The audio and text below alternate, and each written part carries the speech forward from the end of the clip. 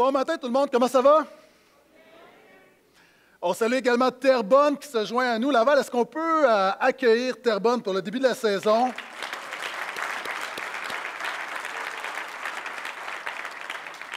Ce matin, je suis excité, on commence notre grande série automnale sur l'évangile de Marc qui se nomme Tout a toujours rapport avec. Évidemment, on va voir ça en deux parties. On va voir euh, premièrement huit messages durant l'automne sur euh, Marc chapitre 1 à 8.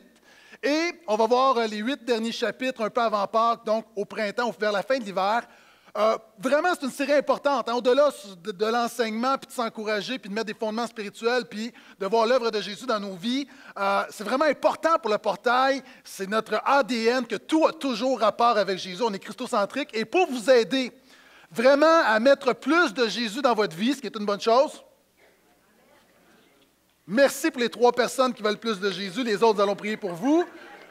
On vous a préparé un petit guide, un petit guide que vous trouvez sur une chaise à côté de vous. Sinon, vous pouvez en trouver dans le présentoir avec un peu d'introduction à l'évangile de Marc. Vous savez, on lit le livre, puis souvent on se demande euh, à qui ça s'adresse. Évidemment, ça s'adresse à nous, mais les premiers destinataires. Donc, des clés pour comprendre l'évangile de Marc. Vous avez également les titres des messages, vous avez les dates, les thèmes. Euh, vous avez également une petite méthode quotidienne. Je te défie à prendre 10 minutes par jour pour t'approprier les perles de l'évangile de Marc. Je te défie à prendre 10 minutes par jour à méditer qu'est-ce que Jésus veut faire dans ta vie aujourd'hui. Donc, vous avez une petite méthode très, très simple et l'idée, c'est vraiment de vous aider à mettre plus de Jésus dans votre vie, faire en sorte que nous puissions en arriver à un moment donné où on va dire tout a toujours rapport avec Jésus dans ma vie. Amen. Maintenant, Évangile de Marc, sans plus tarder, on y va, chapitre 1. Euh, le contexte historique, Marc écrit à qui premièrement? OK. On est en 64 après Jésus-Christ. L'empereur de l'Empire romain, Néron, c'est un psychopathe, c'est un maniaque. Néron, c'est un fou. Et ce que Néron va faire, il décide de brûler sa capitale, il décide de brûler Rome parce qu'il veut bâtir un palais, il veut faire plein de choses. Donc, il va faire allumer des feux, des incendies. Le problème, c'est que 80% de la ville de Rome va être brûlée. Les gens, sachant que Néron est un fou, commencent à soupçonner l'empereur. Et l'empereur, pour faire diversion, va vouloir faire porter le chapeau aux chrétiens. À ce moment-là, il va avoir une des plus grandes vagues de persécution des chrétiens. Et Néron, ce qu'il va faire, il va prendre les chrétiens, vous avez tous vu des films, il va les faire, il va les livrer en pâture au lion. Euh, il va prendre des chrétiens vivants, qu'il va mettre, qu'il va empaler, qu'il va brûler, et les chrétiens vont servir de torches vivantes pour ses jardins. C'est un homme cruel. Et Marc écrit à des hommes et des femmes, à des croyants, des chrétiens qui sont à Rome, qui sont dans les catacombes, qui se demandent est-ce que Jésus est vraiment sauveur? Est-ce que Jésus est vraiment Seigneur? Et la réponse, c'est l'évangile de Marc. Donc, Marc écrit à ces hommes et ces femmes. Marc a quelque chose à dire à ces hommes et ces femmes, mais Marc a également quelque chose à nous dire. Il a un message intemporel. Et en fait, ce que Marc veut faire, c'est de briser le plus grand mensonge de la vie chrétienne. Le plus grand mensonge de la vie chrétienne à l'époque et aujourd'hui, c'est la même. C'est le même. Le contexte a changé, mais ce que le diable veut te faire croire, c'est que presque tout a parfois rapport avec Jésus. Les gens disent Amen, c'est bon. Non, ne dites pas Amen. Presque tout a parfois rapport avec Jésus. C'est-à-dire, Jésus, c'est bien, mais il ne faut pas capoter avec ça, comme on dit en hébreu. Maintenant, Marc veut dire et écrit pour dire Jésus est tellement plus que ça. Jésus est plus qu'une religion. Jésus est plus qu'un prophète. Jésus est plus qu'une philosophie. Et Marc veut briser ce mensonge-là en disant Jésus n'est pas le Dieu du parfois ni le Dieu du presque, il est le Dieu du tout et du toujours. Et ça, c'est vraiment, vraiment important. Vous savez, Jim Collins, qui a écrit un grand livre sur le leadership, a dit la chose suivante. Vous savez, c'est quoi l'ennemi de ce qui est excellent? Le- ce qui est bon, ce qui est bien. Le bon est l'ennemi de l'excellent. Pourquoi? Savez-vous pourquoi nous n'avons pas d'excellents gouvernements? Parce que généralement, nous avons de bons gouvernements. Vous n'êtes pas obligé de me croire ni de dire Amen. Je sais que quelquefois, ça prend de la foi pour croire à ça. Mais quand on regarde au Québec, au Canada, puis on se compare, on n'est pas si pire. Maintenant, le bon, souvent on se satisfait du bon. Tu sais pourquoi tu n'es pas un chrétien excellent? parce que tu es un bon chrétien. On se contente d'être bon, on se contente de ce qui est bien, alors que Jésus t'appelle toujours à plus. Vous êtes à ça? Et le bon est l'ennemi de l'excellent. Et de dire que presque, toi, presque parfois, presque toi parfois, rapport avec Jésus, c'est bien, mais ce n'est pas pour ça que Jésus, le Fils de Dieu, est venu marcher sur cette terre, qu'il a eu une vie d'obéissance parfaite, qu'il est mort, ressuscité. Pour toi, c'est pour plus que ça. Et notre ami Marc veut démontrer que Jésus n'est pas le Dieu du presque et du parfois. Vous savez, il y a des gens ici, tu es dans le presque. Tu te sens presque pardonné, tu es presque libéré, tu es presque transformé. Si c'est ton cas, Jésus est presque ton sauveur. Qui veut d'un presque sauveur? Qui veut d'un restant de sauveur? Il y en a d'autres, tu es dans la dimension du parfois. Tu as l'impression que Dieu est parfois fidèle, Dieu est parfois tout-puissant, Dieu est parfois souverain, Dieu est parfois en contrôle. Donc, Jésus est parfois Seigneur. Maintenant, moi, je crois de tout mon cœur que Jésus est toujours Sauveur et Seigneur. Et même dans ma vie, lorsque je suis dans la défaite, lorsque mes émotions me disent le contraire, lorsque je rationalise, je crois, je mets ma foi parce que je sais que Jésus n'est pas le Dieu du presque et du parfois, il est le Dieu du tout et du toujours. Et c'est mon premier point ce matin. on va voir l'Évangile de Marc, chapitre 1, le verset 1 à 20. Vous pouvez tourner avec moi si vous avez une Bible. Sinon, vous allez vous pouvez suivre sur les écrans. Ce matin, je veux placer un peu cette série et répondre aux questions. Est-ce que tout a toujours rapport avec Jésus vraiment? Est-ce que vraiment tout a toujours rapport avec Jésus? Et premièrement, verset 1, Marc débute son évangile où il va nous parler de la personne et de l'œuvre de Jésus, va nous expliquer qui est Jésus. Marc commence raide. Quand on lit l'évangile de Marc, vous savez, souvent dans l'Antiquité, comme aujourd'hui, il y a un titre, il y a des prologues. Marc commence de manière abrupte. Vous savez, Marc, c'est un peu comme ce que dit Michel Terrien il y a deux ans, pas le temps de niaiser. Marc écrit à des hommes et des femmes qui sont dans des catacombes, écrit à des gens qui ont perdu des épouses dévorées par les lions, qui ont eu des, leurs enfants qui ont été brûlés vifs, qui sont là, des gens qui ont entendu la bonne nouvelle de Jésus, qui meurent pour leur foi. Puis ces gens-là sont en train de se demander, de se poser la question est-ce que Jésus est vraiment Seigneur? Marc n'a pas le temps de niaiser, Marc va à l'essentiel. Et en une phrase, Marc résume le christianisme. Commencement de la bonne nouvelle de Jésus la bonne nouvelle de Jésus-Christ, Fils de Dieu. Dans cette phrase-là, il y a l'essentiel du christianisme.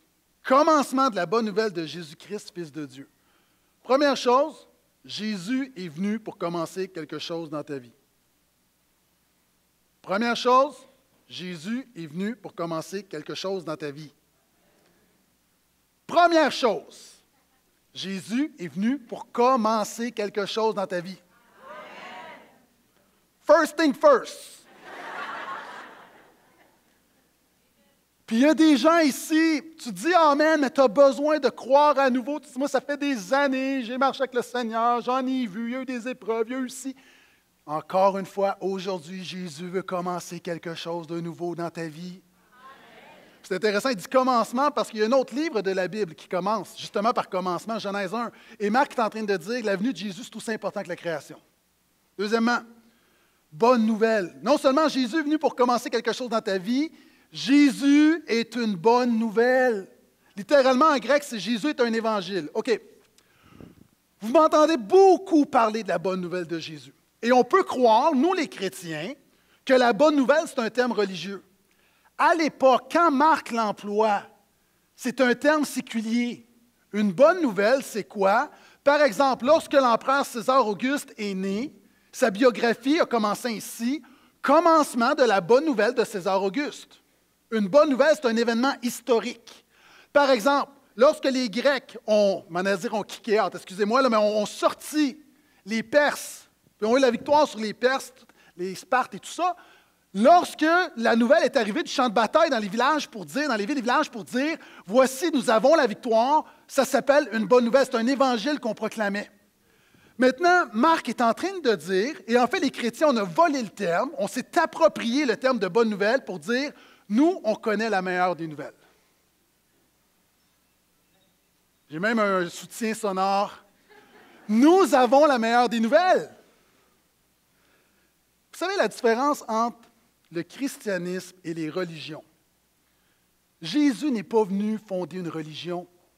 Souvent, les chrétiens vont dire, oui, c'est vrai, le, christianisme n'est pas une religion, mais on ne sait pas pourquoi. Je vais te le dire pourquoi. Une religion, regarde toutes les religions.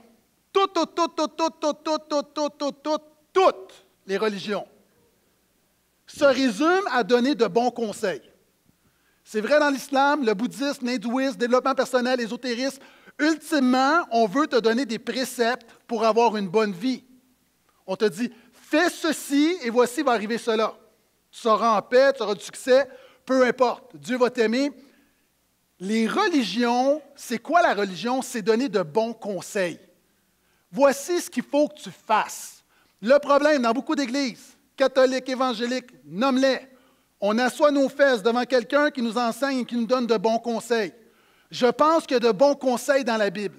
Mais le christianisme ne s'appuie pas sur de bons conseils, ça s'appuie sur une bonne nouvelle. Là, il y a des gens qui disent Ouais, puis c'est quoi la différence? Le christianisme, ce n'est pas les sacrifices que je fais pour Jésus, mais le sacrifice que Jésus a fait pour moi. Le christianisme, ce n'est pas mon amour pour Jésus, mais l'amour de Jésus pour moi. Le christianisme, ce n'est pas tant mon obéissance à Jésus que l'obéissance de Jésus pour moi. Le christianisme, ce n'est pas ma performance pour Jésus, mais la performance de Jésus pour moi. Le christianisme, ce n'est pas tant que ferait Jésus à ma place que ce que Jésus a déjà fait à ma place. Le christianisme n'est pas je fais quelque chose pour Jésus, mais Jésus a tout fait pour moi, tout est accompli. C'est pourquoi les chrétiens, ce que nous avons, c'est une bonne nouvelle, c'est juste ça.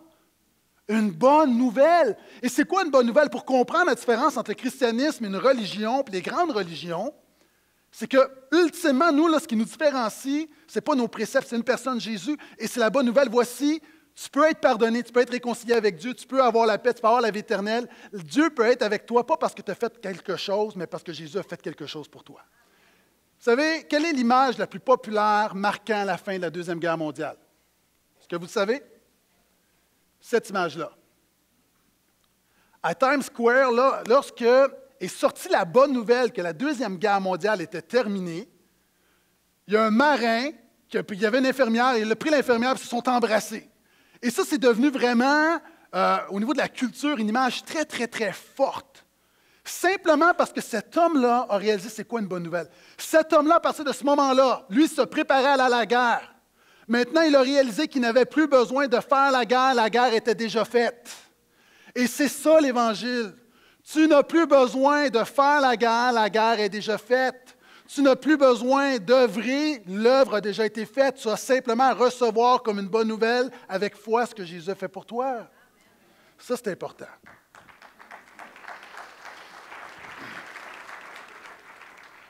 Marc dit Jésus, un, est venu pour commencer quelque chose dans ta vie, c'est une bonne nouvelle.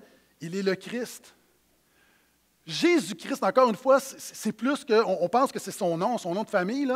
Christ, c'est Christos, le grec, qui vient de l'hébreu Messiah, qui veut dire Messie, littéralement celui qui a reçu l'onction. L'onction, c'est quoi? C'est une cérémonie officielle où, par exemple, tu versais de l'huile sur la tête du roi en signe que la bénédiction de Dieu coulait dans sa vie. Maintenant, le Messie, ce n'est pas un roi qu'on attendait, c'est The King. Vous comprenez quand la différence entre un roi et deux rois? Le roi, et Marc dit que Jésus n'est pas un souverain, Jésus n'est même pas un empereur, Jésus est le roi des rois. Jésus est l'empereur des empereurs. Jésus est le Seigneur des seigneurs. Dans un livre très spirituel qu'on appelle Le Seigneur des Anneaux, en passant pour la petite histoire, Tolkien est un ami de C.S. Lewis, qui est un grand philosophe et théologien et C.S. Lewis a écrit les Chroniques de Narnia. Et il y a des métaphores avec le christianisme, beaucoup plus dans les Chroniques de Narnia, mais Tolkien, dans Seigneur des Anneaux, le troisième tome, c'est le retour du roi. Est-ce que ça vous sonne une cloche? Il y a des métaphores là-dedans. Et il y a un personnage parlant, parce qu'il y a un débat à savoir comment est-ce qu'on va reconnaître le roi qui va revenir, comment est-ce qu'on va reconnaître que ce roi-là est le vrai roi qui amène la paix, qui rétablit toutes choses. Puis il y a quelqu'un qui va dire la chose suivante, pour reconnaître la différence entre un roi et le roi, il dit quelque chose de très simple. Les mains du roi sont celles d'un guérisseur, et c'est ainsi, que sera connu le roi légitime. Comment est-ce que je sais que Jésus est le Messie? Ce n'est pas parce que quelqu'un me l'a dit, c'est parce que quand j'ai mis ma vie entre ses mains, ma vie a guéri. Comment tu sais que Jésus est véritablement le Messie, qu'il est véritablement le roi? C'est que quand tu déposes quelque chose entre les mains de Jésus, ça guérit, puis ça fleurit, puis ça prospère, puis ça se développe. C'est comme ça qu'on sait qu'il est le roi des rois.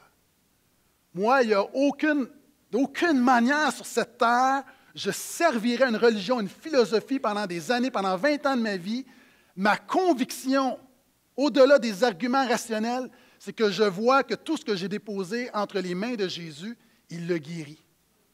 Il y a de la souffrance, il y a des épreuves, il y a des difficultés, il y a des échecs, mais les mains du roi sont celles d'un guérisseur.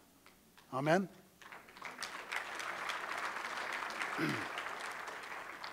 Finalement, il dit Jésus, fils de Dieu.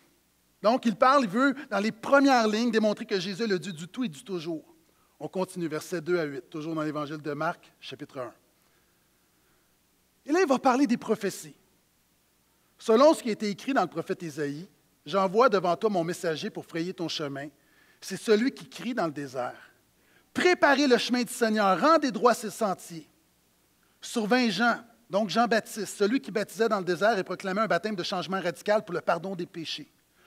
Toute la Judée et tous les habitants de Jérusalem se rendaient auprès de lui et recevaient de lui le baptême dans le Jourdain, en reconnaissant publiquement leurs péchés. Jean était vêtu de poils de chameau avec une ceinture de cuir autour des reins. Il se nourrissait de criquets et de miel sauvage. Ne faites pas ça à la maison. Il proclamait Il vient derrière moi celui qui est plus puissant que moi. Et ce sera encore trop d'honneur pour moi que de me baisser pour délier la lanière de ses sandales. Moi, je vous ai baptisé d'eau, lui vous baptisera dans l'Esprit Saint. Je vais aller rapidement là-dessus, mais ce point-là démontre une chose vraiment importante. Si c'est la première fois que tu es dans une église, la première fois que tu entends ce texte-là, tu regardes à Jean-Baptiste et ça a l'air d'un weird.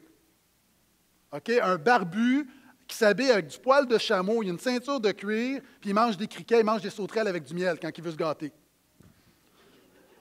Le gars est dans le désert, il y a un message comme repentez-vous, changez, faites-vous baptiser pour vos péchés. Et là, lui, on le regarde, puis si on va être honnête, on peut le juger même un peu. Mais il faut faire attention. Là, il y a des gens qui disent Oh non, moi, je ne, je ne jugerai pas Jean-Baptiste.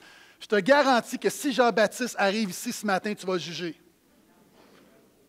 Si je te dis ce matin, j'ai un invité, puis tu vois une espèce d'hipster bizarre qui arrive, les cheveux longs, gras, avec une euh, habillé en poil de chameau, avec ses sauterelles entre les dents. Je m'excuse, tu vas le juger. OK? Cela étant dit, nous, on peut le juger. La Bible dit que l'homme regarde ce qui frappe aux yeux, mais l'Éternel regarde au cœur. Cet homme-là avait quelque chose dans son cœur. Jésus va dire quelque chose de vraiment particulier. Il va dire que parmi tous les hommes nés d'une femme, donc de toute l'histoire de l'humanité, le plus grand d'entre tous, c'est Jean-Baptiste.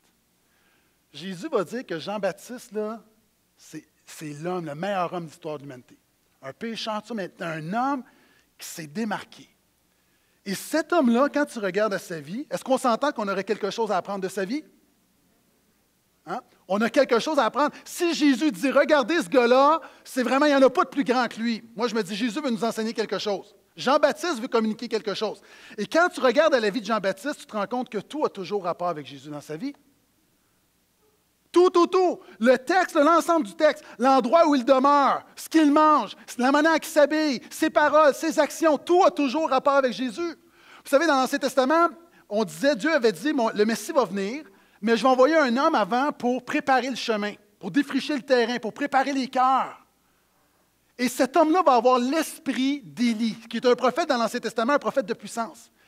Les Juifs attendent encore aujourd'hui Élie, entendent ce prophète. Si vous allez chez des familles juives pendant la Pâque juive, vous allez remarquer qu'il y a un couvert qu'on prépare pour Élie. Il y a une table, il y a une chaise où on laisse une chaise vide pour Élie. Les Juifs attendent Élie. Le problème, c'est qu'il est déjà venu ils attendent le Messie, mais il est déjà passé. Vous savez, ça me fait penser, lorsque j'étais petit, il y avait une émission qui s'appelait Bobino et Bobinette. Mauvaise imitation de Bobinette. Mais Bobino, Bobinette, tu peux leur envoyer des dessins, puis Bobino présentait les dessins pendant l'émission, puis là, Bobinette faisait des commentaires. Bon.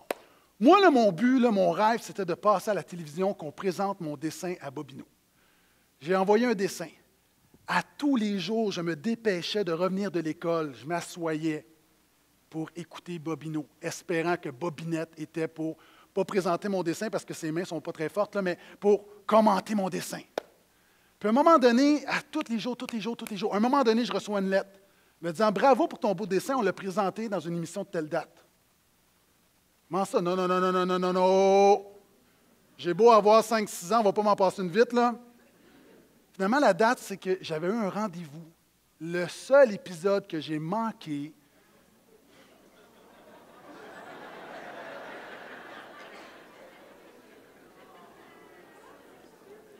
Vous voyez pourquoi j'ai des dysfonctions aujourd'hui?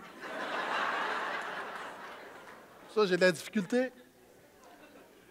J'ai passé combien de temps à attendre, attendre, attendre quelque chose qui était déjà passé?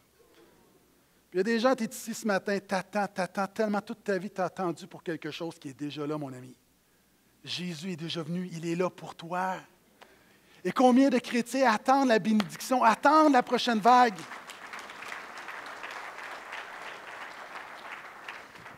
Ah, on attend, beaucoup de chrétiens, on attend la prochaine affaire qui va arriver, la bénédiction, on l'attend, on l'attend. C'est là, Jésus est déjà venu. Dans sa vie, tout a toujours rapport avec Jésus. Et, là, je n'ai pas le temps ce matin, mais, l'ensemble du texte, là, la manière qui se nourrit, tout, le but, c'est de communiquer Jésus. Vous savez, tout ce qu'on fait, on veut communiquer Jésus. Par exemple, un, petite parenthèse, des gens, des fois, qui sont surpris, qui viennent au portail et qui voient des pasteurs habillés comme ça. Parce que tu viens soit d'une autre église où le prêtre en avant une soutane, ou dans d'autres églises où le pasteur il a un beau complet, des fois même avec un chapeau et un gros foulard, puis tu dis, il me semble que le pasteur n'est pas super bien habillé. Mais ça a rapport avec Jésus. Pourquoi? Parce qu'on dit, nous, là, on veut juste être accessible. On ne veut pas créer de distance entre ce qui est en avant. Nous, les pasteurs, on est en avant, on est juste du monde ordinaire. Puis notre mandat, c'est juste d'être des pour vous. On peut être d'accord ou pas. C'est juste que ça a rapport avec Jésus. L'apôtre Paul dit, quoi que vous fassiez, que vous mangez, que vous buvez, faites tout pour la gloire de Jésus. Donc, c'est ça, c'est d'avoir une mentalité où ta vie est dédiée à Jésus. Puis là, il y a des gens qui peuvent dire, ouais, mais pasteur Gaétan, là, à un moment donné, il y a des fanatiques. Il y a des gens qui sont extrémistes. Est-ce que ce n'est pas un peu extrémiste de dire, tout a toujours rapport avec Jésus? Tu sais, dans la vie, il y a du monde qui sont non-croyants, puis tu as du monde, là, qui sont vraiment, vraiment extrémistes, là, est-ce qu'on ne serait pas mieux d'être modéré? Ça dépend.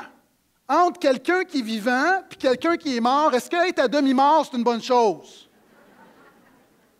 Le problème, savez-vous, c'est quoi? Le problème, c'est que des chrétiens, ce n'est pas parce qu'ils sont extrémistes, c'est que c'est des chrétiens qui présentent une religion. Rappelle-toi, on a vu que le christianisme n'est pas une religion, c'est une bonne nouvelle. Le problème, on en connaît, oui, il y a des chrétiens qui sont fatigants. Il y a des chrétiens, là, il y a des gens, peut-être tu es ici ce matin, je m'excuse, ce n'est pas une bonne nouvelle pour ton environnement. C'est une mauvaise nouvelle. Pourquoi? Parce que justement, tu prônes une religion, tu dis aux gens autour de toi, voici qu'il faut que tu fasses, il faut que tu fasses il faut que tu fasses, il faut que tu fasses, il faut que tu fasses, alors que toi, on te dit, on t'a annoncé l'Évangile comme une bonne nouvelle, toi maintenant, tu annonces une mauvaise religion. Et c'est le problème, souvent, il y a des gens, que tu parles avec des gens qui ont été côtoyés à des chrétiens, sont échaudés parce que justement, ce n'était pas la bonne nouvelle qu'on a présentée. C'était quelque chose comme. C'est comme par exemple l'image tout à l'heure. L'homme qui va embrasser spontanément l'infirmière à côté de lui en célébration. Il y a une bonne nouvelle comme Wouh! Puis des fois, les chrétiens se disent OK, on a reçu la bonne nouvelle, là, ce qu'on va faire, là, tout le monde, vous allez vous embrasser. Ouais, c'est qu'il faut que tu fasses. Hey, toi, toi, tu n'es pas content, là? Trouve-toi quelqu'un pour embrasser là, parce qu'il faut que tu vives la bonne nouvelle. C'est ridicule, c'est plus une bonne nouvelle, c'est une loi, c'est une religion. Est-ce que vous êtes avec moi? A des gens dans ta vie, tu tu as arrêté de vivre la bonne nouvelle. Et c'est pour ça, mais quand tu vis la bonne nouvelle, tu ne peux pas être extrémiste. Pourquoi? Parce que tu aimes les gens, tu sers les, gens, les gens, tu es plein de compassion, tu es plein de grâce, tu n'es pas une espèce de pharisien, une mauvaise nouvelle. Tu es juste quelqu'un qui suit Jésus de tout ton cœur, de toute ton âme, de toute ta force, de toutes tes pensées. Et c'est ça que Jean-Baptiste nous apprend. Et on continue. Regardez. En ce jour-là, Jésus vint de Nazareth de Galilée. Il reçut de Jean le baptême dans le Jourdain, et dès qu'il remonta de l'eau, il vit les cieux se déchirer l'Esprit descendre vers lui comme une colombe. Et une voix survint des cieux, disant Tu es mon Fils bien-aimé, c'est en toi que j'ai pris plaisir. Ici, Jean-Baptiste nous enseigne que tout a rapport avec Jésus. Ce qu'on voit ici, c'est que tout a toujours rapport avec Jésus. Pourquoi? Parce qu'on voit le Père a rapport avec Jésus, puis l'Esprit a rapport avec Jésus. OK. Permettez-moi de vous expliquer quelque chose. OK? Il y a des gens, là, si tu viens à l'Église régulièrement, tu m'as déjà entendu parler de ça. Mais il y a des gens, tu viens depuis peu, ou tu nous visites ce matin, ou tu m'entends sur Internet. Ici, ce qu'on voit, c'est la Trinité. Vous savez, il y a des gens qui disent oh, la Trinité, ça ne me bénit pas tellement. Mais est-ce que tu sais que des, études ont été faites, puis la Trinité, là, quand quelqu'un comprend la, Trinité, ça change sa vie. Après le salut par grâce, après avoir compris la grâce, la bonne nouvelle de Jésus, la deuxième croyance qui impacte le plus la vie des gens, c'est de comprendre c'est quoi la Trinité. Pourquoi? Parce que souvent les gens pensent que la Trinité, c'est que les chrétiens adorent trois dieux, le Père, le Fils, le Saint-Esprit. D'autres pensent que c'est trois manifestations de Dieu. D'autres pensent que Jésus, lors du baptême, s'est fait adopter par Dieu, excusez-moi. La Trinité, c'est plus que ça. Quelqu'un a dit, je vais vous l'illustrer. Euh, j'ai les pasteurs en avant. Monique, tu peux venir me rejoindre avec Denis. Ah, pasteur André, je l'ai vu tout à l'heure. Est-ce que pasteur André est là? Ah, pasteur Claude, pasteur Claude, viens nous rejoindre, s'il te plaît. Ah ouais, pasteur Claude. Est-ce qu'on peut l'applaudir, s'il vous plaît?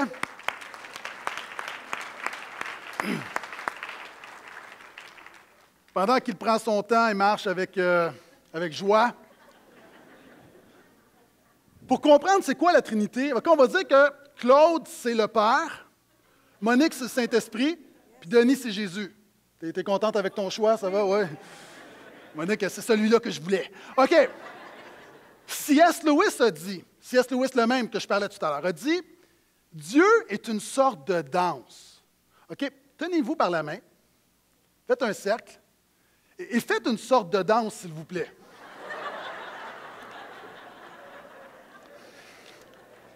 OK? En passant, Monique m'a fait une grimace quand personne ne regardait, je vais juste le dire.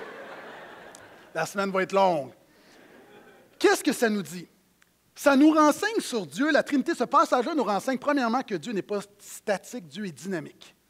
Dieu, c'est un mouvement. Il y a des gens, là, ton idée de Dieu, c'est comme euh, c'est figé, ça bouge. Ça nous dit également, on peut se tenir par la main encore une dernière fois avec euh, joie, parce que la Trinité est pleine de joie et de grâce et de paix. Ça nous dit que Dieu est relationnel, Dieu est amour. Le Père, d'ailleurs, avez-vous remarqué qu'il donne des paroles d'amour au Fils en disant C'est mon Fils bien-aimé. Qu'est-ce que ça nous enseigne? Ça nous enseigne que Dieu n'est pas seulement puissant, Dieu est amour. Il y a des gens ici, tu n'as aucune difficulté à croire que Dieu peut créer le monde, mais tu as de la difficulté à croire que Dieu t'aime. La Trinité, ce qu'on vient de voir là, nous l'enseigne. Et la vie chrétienne, c'est quoi? C'est entrer dans la danse. Là, je ne le ferai pas parce que je veux garder ma dignité. OK? Là, j'arrive, c'est rentrer dans la... OK, tu veux continuer, on va continuer. Ce ne sera pas long. Le problème, le problème de beaucoup de gens, ce que tu n'as pas compris, quand tu viens à Jésus, tu penses que Dieu est centré sur toi. Ça ne marche pas. Nous, à la maison, on fait quelquefois ce qu'on appelle des câlins collectifs. Vous savez, c'est quoi? On va en faire un. Câlin collectif. Mais là, restez là. Mais là, il y a toujours quelqu'un dans ma famille, je ne le nommerai pas, mais c'est mon fils, qui, lui, à ce moment-là, on peut le faire, discrètement vient au centre. Et là, là, il veut que tout le monde soit autour de lui. OK, vous pouvez aller vous rasseoir, merci.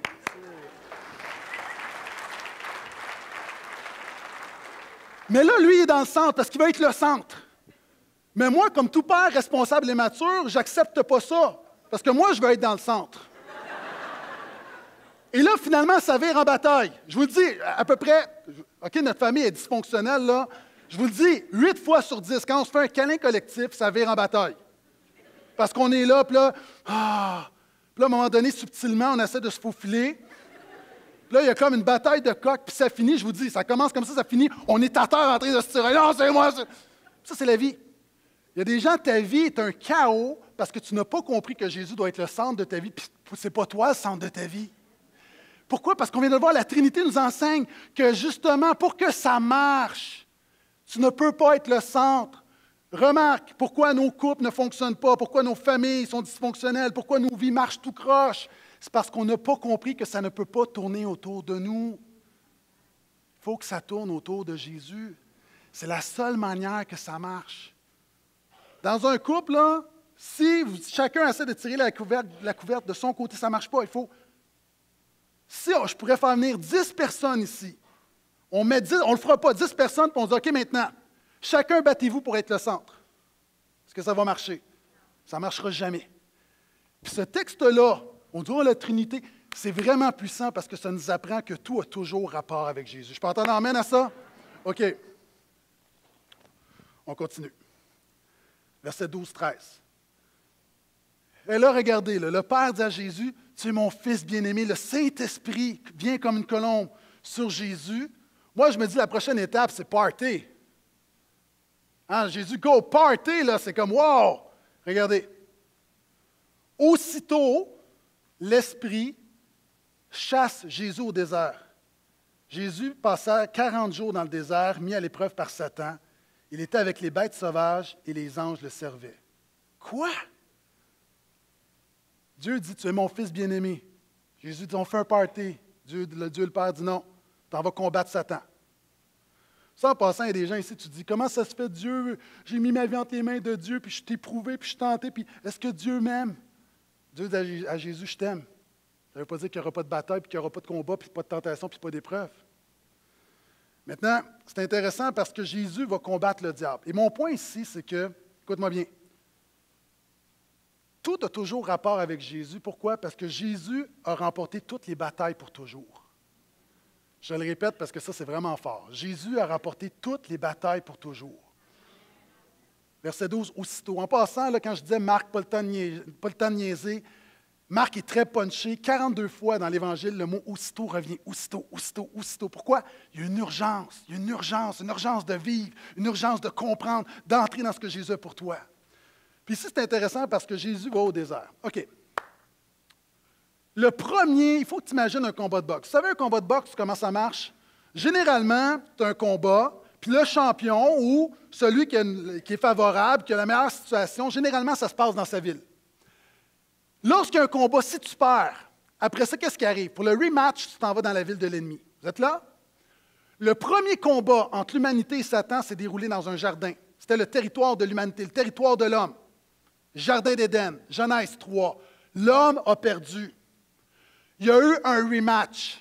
Le rematch se fait en territoire de l'ennemi, se fait dans le désert, se fait en territoire de Satan. Jésus est obligé d'aller se battre dans le territoire de l'ennemi. Ce n'est pas Satan qui vient se battre sur le territoire de Jésus.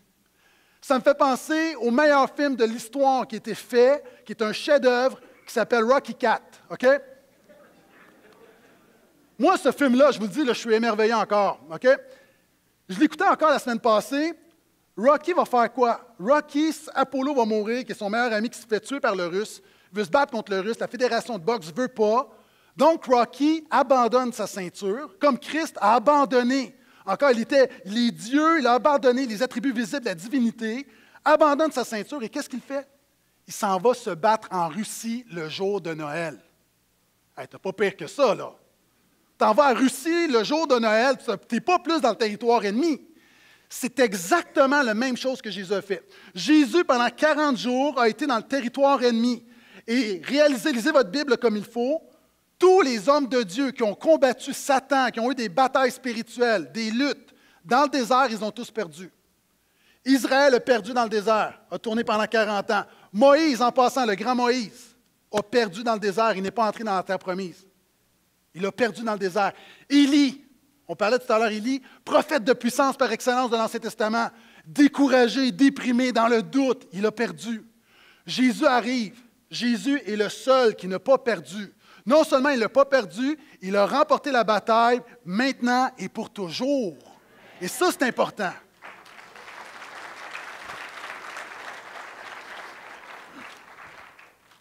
Et pourquoi je peux le dire, toutes les batailles représentées ici, tous les doutes, les luttes de ton cœur, ce qui est caché, ce qui est visible. Jésus a remporté ces batailles-là.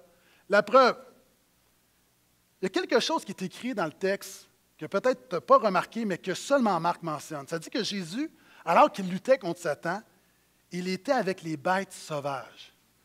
Moi, là, pour cette série-là, je lis beaucoup de commentaires, je m'informe. Et les commentateurs se posent la question, mais pourquoi Marc est le seul à mentionner que Jésus était avec les bêtes sauvages? Dans un désert, il y a des bêtes sauvages, mais vous savez, quand tu étudies la Bible, tu te rends compte qu'il n'y a rien pour rien dans la Bible. Il y a toujours une raison. Et c'est quoi la raison de Marc? Et finalement, les commentateurs ont trouvé.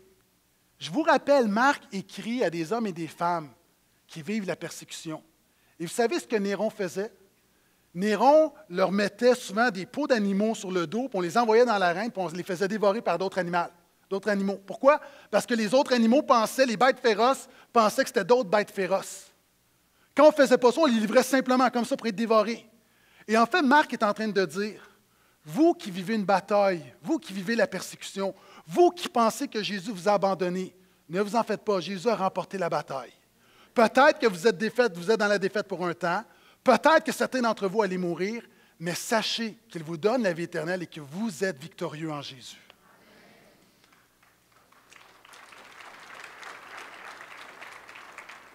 Peu importe ta bataille ce matin, je veux juste te dire qu'il victoire. Jésus a remporté la victoire pour toi. Fais-lui confiance. Verset 14-15. Et là, c'est la première fois qu'on va entendre la voix de Jésus. Quelle est la première chose que Jésus va dire? Regardez. Après que Jean eut été livré, donc, il va être arrêté, on va y revenir. Jésus vint en Galilée, il proclamait la bonne nouvelle de Dieu et disait, Le temps est accompli et le règne de Dieu s'est approché. Changez radicalement et croyez à la bonne nouvelle. Jésus a un message qui impacte toujours tout. C'est vrai pour des gens qui m'entendent pour la première fois. C'est vrai des gens qui m'entendent depuis mille fois le message de Jésus peut tout impacter dans ta vie ce matin. Et Jésus dit, quatre choses. Premièrement, il dit le temps est accompli. Accompli, le mot grec. Vous savez, quand on sert du café, on se laisse un petit, peu d'espace. Hein? Sinon, ce n'est pas le fun. Le mot grec, c'est super plein, ça déborde. Et Jésus est en train de dire, maintenant, là, la bénédiction de Dieu, le temps, là, ce que je peux faire dans vos vies, ça déborde. Ne vous en faites pas, il y en a assez pour tout le monde. Deuxièmement, il dit, le règne de Dieu s'est approché. Dans d'autres versions, on va dire le royaume de Dieu, mais j'aime bien le règne de Dieu parce que dans la Bible, le règne, le royaume de Dieu, nous, on pense que c'est une géographie, mais le règne de Dieu, c'est toujours l'action de Dieu dans ta vie. Le royaume de Dieu, c'est toujours l'action de Dieu dans ta vie. C'est la, seigneurie, l'autorité de Dieu dans ta vie. Il dit, le règne de Dieu s'est approché. Je veux juste dire à tout le monde ce matin, là, la bénédiction est proche, le salut est proche, la délivrance est proche, le pardon est proche. Tout ce que Jésus a pour toi, c'est proche. Le royaume de Dieu est prêt. Le problème, c'est que nous ne sommes pas prêts. Le royaume de Dieu est proche, mais nous ne sommes pas prêts. Ça me fait penser à cette femme. Vidéo.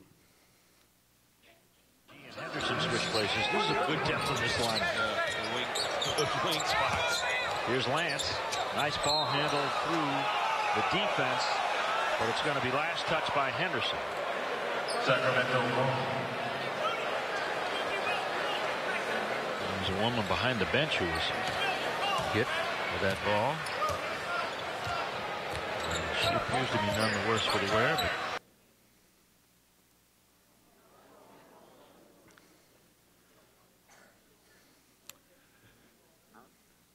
Elle n'était pas prête. Maintenant, ça, c'est un super parallèle avec ce que Jésus est en train de faire. Nous sommes là, il y a des vies qui se jouent, notre histoire se joue, il y a des choses importantes qui se jouent, mais nous sommes occupés à d'autres choses. Nous avons d'autres priorités. Et je veux juste dire quelque chose. Le royaume de Dieu, là, ça peut être très le fun, ça peut être une grande bénédiction, mais le royaume de Dieu, si tu n'es pas prêt, tu vas l'avoir en pleine face. Qu'est-ce que ça veut dire? Ça veut dire que le royaume vient pour tout le monde. C'est soit que tu l'attrapes ou soit qu'il te frappe. Jésus est incontournable. Jésus n'est pas seulement le Dieu des chrétiens, Jésus est le Dieu de tout le monde. Jésus, c'est tellement important, il est venu mourir pour tout le monde. Et tous seront jugés en fonction de Jésus. Donc, le royaume de Dieu. Souvent, on est là, puis on pense que c'est une affaire de chrétiens. Le royaume de Dieu, puis il y a des chrétiens, tu n'es pas prêt. Il vient, le royaume, il est proche. On t'avise. Boum! Déjà, à un moment donné, tu vas faire le saut parce que tu vas avoir le royaume en plein visage. Et ça fait mal. Et c'est pourquoi Jésus dit, vous n'êtes pas prêt. Comment être prêt à recevoir le règne de Dieu? Comment être prêt à vivre ce que Jésus est pour moi? Comment être prêt à vivre quotidiennement comme si a toujours rapport avec Jésus? Bien, premièrement, il va le dire, changer radicalement. En d'autres, autrefois, une autre version disait repentance. Mais j'aime beaucoup changer radicalement parce que c'est la nature du mot en grec, le métanoïa, parce que Jésus est en train de dire le royaume de Dieu me suivre, ce n'est pas une décision émotive. C'est une décision rationnelle, réfléchie, c'est une volonté profonde de changer. Il y a des gens, sais-tu pourquoi tu ne recevras pas Jésus? Parce que tu ne ressens pas ton besoin de Jésus. Il y a des gens, tu te déclares chrétien, puis tu vis sans Jésus. Pourquoi? Parce que tu ne réalises pas assez que tu as besoin de Jésus. C'est ça le métanoïa. Tu n'as pas de repentance, tu n'as pas de volonté profonde de changer. Vous savez, souvent on change juste pour calmer la pression. On vit une crise, ou à un moment donné, on sent qu'il y a un petit quelque chose. Change un peu, mais on ne change pas radicalement. On n'est pas prêt à changer radicalement. C'est comme mes enfants. Mes enfants sont assis côte à côte sur un divan, sur le fauteuil. Ils écoutent la télévision. Puis à un moment donné, j'entends ah, ah, arrête de me toucher. Ah, ah, ah il me touche, ah, il me touche. Tasse-toi. Est-ce que des gens, vous avez déjà vécu ça? Et là, moi, je reste calme. Là, c'est comme Ah, ah, ah c'est toi qui commence. Non, c'est toi. Là, je dis à ma femme, arrête de déranger les enfants. OK? Non, c'est pas vrai. Et là, à un moment donné, je m'attends, je dis, OK, là, ça va faire, là. Je dis, tassez-vous. Puis là, il y en a un là, qui a le pied sur l'autre, là. Puis là, il fait juste ça de même. Tasse juste un petit peu son pied. Une repentance d'hypocrite. C'est un changement, mais ce n'est pas radical. C'est juste pour calmer la, pression. Mais en fait, dans son cœur, il n'y a rien qui a changé. Puis souvent, on est comme ça, il y a des affaires qui changent dans nos vies, mais dans notre cœur, il n'y a rien qui a changé. Et Jésus dit, il faut qu'il y ait un changement radical, un changement profond. C'est-à-dire, il faut que tu veuilles changer. Il faut que tu veuilles Jésus. Il faut que tu sois tanné de ta vie misérable.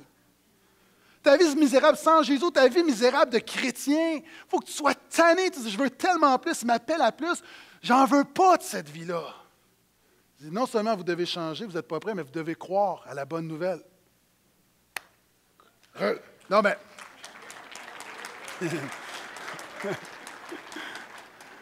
Je ne demandais pas d'applaudir, mais ça, va. Euh, gloire à Dieu.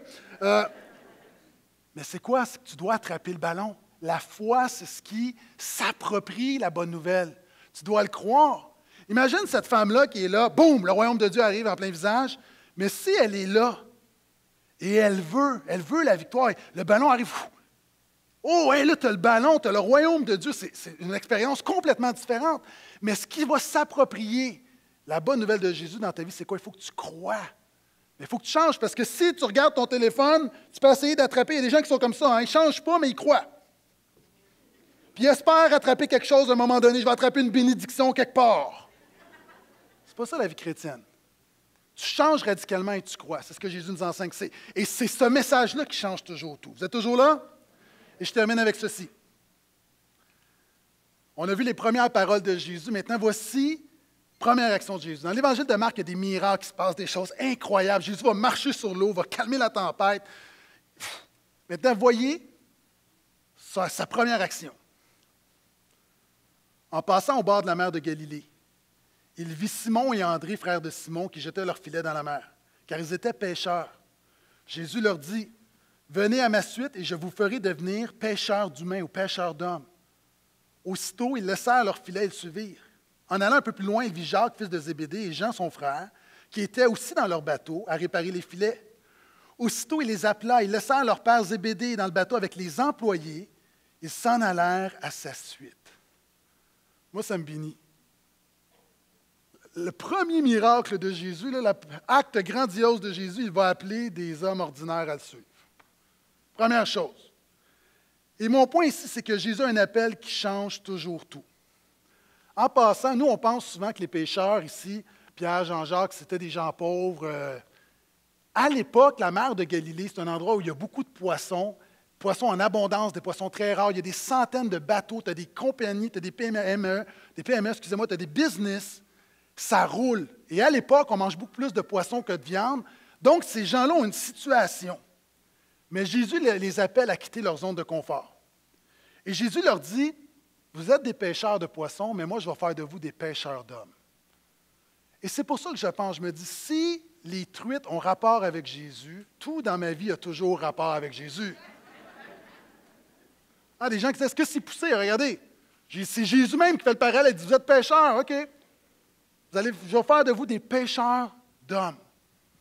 Si ça avait été une infirmière, Jésus aurait dit, je vais faire de toi, suis-moi je ferai de toi guérisseuse d'âme. Ça avait été un planificateur financier, Jésus aurait dit, suis-moi et je ferai de toi un planificateur d'éternité. Ça avait été une éducatrice en service de, garde, Jésus aurait pu dire, suis-moi et je te ferai gardienne de bénédiction. Ça avait été un plombier, Jésus aurait dit, suis-moi et je te ferai déboucheur de cœur. Mais est-ce que vous comprenez que l'appel de Jésus change tout dans ta vie? Tu ne restes pas le même. Tu ne restes pas le même. Et ça change tout. Et là, là, vous savez, moi, j'ai toujours en tête deux publics. J'ai des gens qui ont besoin de Jésus, de mettre ta foi en Jésus pour la première fois, ou qui commencent dans leur marche avec Jésus. Puis j'ai toujours aussi des gens, des chrétiens d'expérience. Puis souvent, les chrétiens d'expérience, on entend parler de croire, de repentance, de la bonne nouvelle, de suivre Jésus. Puis on dit, j'ai déjà fait ça. Non, tu as encore besoin de le faire. Tu as besoin de sortir de ta zone de confort. Si tu m'entends, puis quand je te dis ça, c'est tout dans ton cœur, dis non, c'est justement, c'est pas le Saint-Esprit qui te parle, c'est ta chair. Cette semaine, je suis sorti de ma zone de confort. Je vous ai déjà dit que moi, l'eau, ce n'est pas ma zone de confort. Sauf que je n'ai jamais été aussi en forme de ma vie, j'ai changé mon style de vie, je m'alimente bien, donc je me suis dit, c'est le temps de prendre des cours de natation. C'est-à-dire, je nage, je sais nager, mais je n'ai pas de technique, c'est le temps de régler ça dans ma vie. À 40 ans, je veux devenir un bon nageur, je veux plus. Donc, cette semaine, j'ai eu mon premier cours de natation.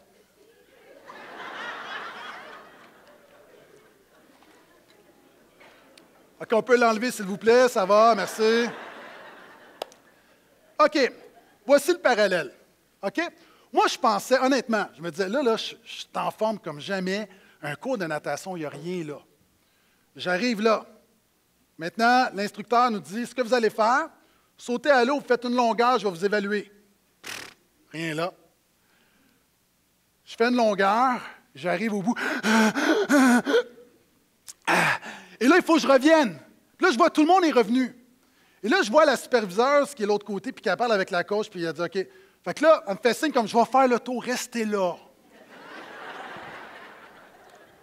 Elle vient me voir. Elle dit Monsieur, elle dit euh, Je pense que vous n'êtes pas dans le bon cours. Il faudrait vous mettre dans le cours en dessous. Parce que si c'est technique de nage, fait que vous, vous n'avez pas de technique. vous n'avez même pas la nage, tu sais, vous avez. Fait que là, ils veulent me changer de cours, mais moi, en fait, là, j'ai pas besoin de ça. Si je me disais, je vais faire une activité avec ma fille, ma fille voulait prendre le cours, je disais, ah, pourquoi pas, let's go. Puis ça, un jour, je vais faire un triathlon, je serai prête, puis gars, ah, ouais. Tu sais, j'y vais. Mais là, j'explique, je dis, mais moi, je, vais être avec ma fille, je suis pas intéressé juste de prendre un cours avec des barbus le mardi soir. Là, je veux dire, j'ai d'autres choses à faire dans la vie. Fait que là, finalement, je reviens, puis là, il dit, OK, finalement, monsieur, on va vous garder. Mais ce qui arrive, c'est que il faut pas ralentir le groupe. Donc, essayez de rester sur le bord du corridor. Là, OK, time out. Mettez-vous à ma place. OK? Pour la, à, presque 40 ans dans ma vie, je veux sortir de ma zone de confort. Puis en partant, là, ça faisait une minute puis déjà, je vis une défaite, puis je suis humilié.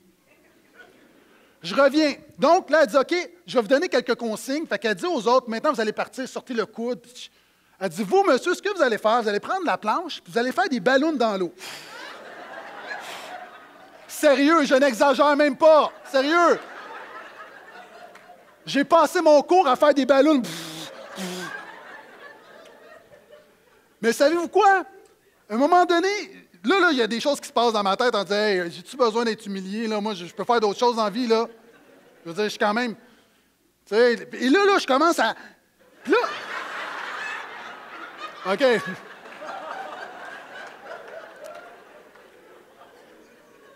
Mais là, je commence à me dire OK, pourquoi je suis là?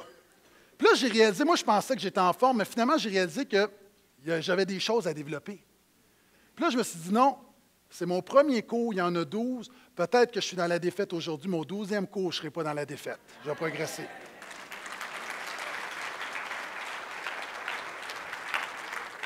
Voici l'application spirituelle. Il y a des gens ici, tu penses dans la vie là, que tu as pas mal d'expérience, ça va bien, ta marche avec Jésus. Tu as besoin de sortir de ta zone de confort. Jésus veut te sortir de ton environnement. Tu as des choses à apprendre, tu as des choses à développer, tu as beaucoup de faiblesses. Il y a des choses que tu traînes depuis des années. C'est peut-être une saison où Jésus veut les régler dans ta vie. Et l'appel de Jésus s'adresse non seulement à ceux qui sont ici pour la première fois, mais celui qui m'entend depuis 50 fois, tout le monde a besoin de suivre Jésus ce matin. Et alors que Terrebonne continue de son côté,